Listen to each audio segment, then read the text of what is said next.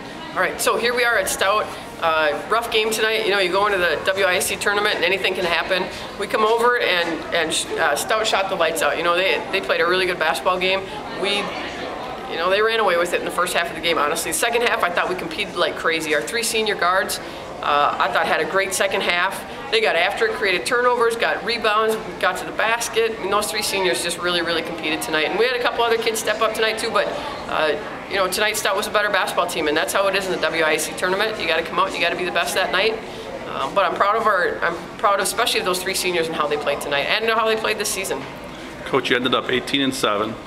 You know, before the year, that probably been a good season. Yeah, you know, we, we had a great season. There's no question about it.